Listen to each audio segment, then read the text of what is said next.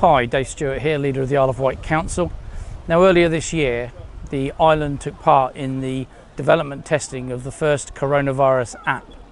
As a result of the work that we did, it was fed back into the central government, and I'm pleased to announce an opportunity to test and deliver on the new revised app, which was built on our work um, and the government are now leading on.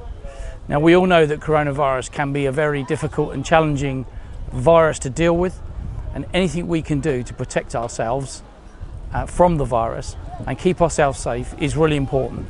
So we're going to support the government in the uh, second test of the revised app. I've seen it in action myself. It's very comprehensive. And I think the positive thing I always say to people is it's another tool in our toolbox of protection which we all need.